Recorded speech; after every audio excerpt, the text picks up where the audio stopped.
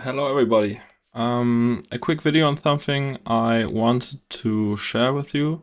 Um, you might have seen it. Uh, we've got a new Rider model at some point, which is called Rider Plus. You can find it under Rider, Rider models, or recently it's under the recommended section. So we just go over here, Rider Plus. Um, it's a bit like it's a chunkier model. It has rolled up sleeves and everything. Um, you can download it on MXB Mods. I'll put the link in the description. It's made by Krinsher. Uh, it's a very nice mod, actually. I really enjoy using it. Um, but there's one flaw in this game. Um, we do have rider model support, but the issue is you have to copy over your entire paints and gloves folder over to a second model, which screws up your hard drive space and you'll have you need to put it into two different folders, which is like very inconvenient in my opinion. Um, I figured something out how you can uh, link a folder from a different model to the rider Plus model. And I will show you how that works. So first of all, we need to go into our mods folder. Mine is located here. Um, go into rider, Riders, and here we have rider Plus and rider Plus Rolled Up installed and also our default MX folder. As you can see, mine is 22 gigabytes big. If I would copy everything over to rider Plus and the second one, I would have like three times the size. So almost over 80 gigabytes or something like almost. It's yeah, it's almost 70 gigabytes. okay, so what we have to do is we open up rider Plus and as you can see, we have the gloves and the paints folder. We move those. If you are on Windows 11, just right click and I think it's terminal and it's, um, I, I don't know what it's called in English right now. I think it's just CMD or something. Um, click on that. And if you're not on Windows 11, you need to Windows R and type in CMD.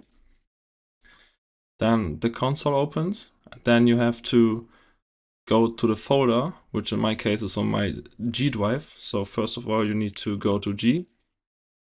And then we have to CD into our folder, right? Okay.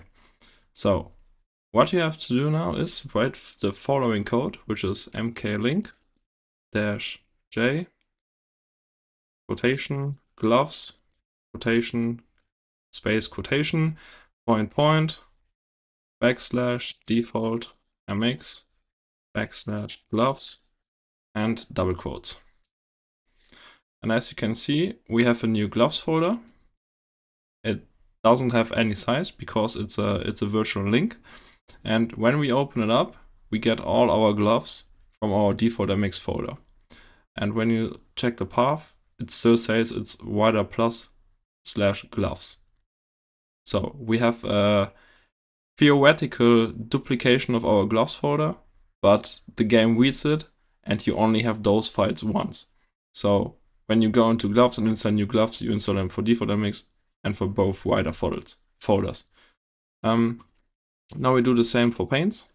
Just press arrow up, change gloves to paints, and hit enter. And now we have the gloves and the paints folder. And again, we have the same paints. We also have in our default MX folder.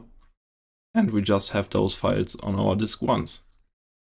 Now we can do the same for our Rider Plus. I just move over to this folder. So now we are inside here. We move both. And now I just have to press arrow key up on the gloves and find it for the paints. And there you go. Now you have all your skins installed on three different rider models. Keep in mind, this only works when the rider model is using the same UV. Fortunately, the rider Plus model uses the same UV as a default MX rider, so we have no issues with old paints and can just reuse what we already have. I needed to do this video because explaining it this way was a little bit easier than doing a GIF. So yeah, I hope that helps. See you soon.